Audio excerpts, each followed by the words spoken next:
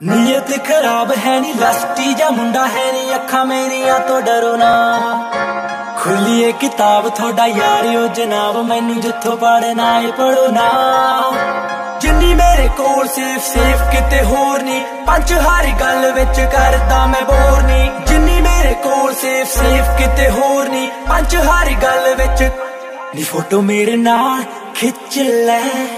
ਉਹ ਜੋੜੀ ਵਾਇਰਲ ਕਰਾ ਗੋਰੀਏ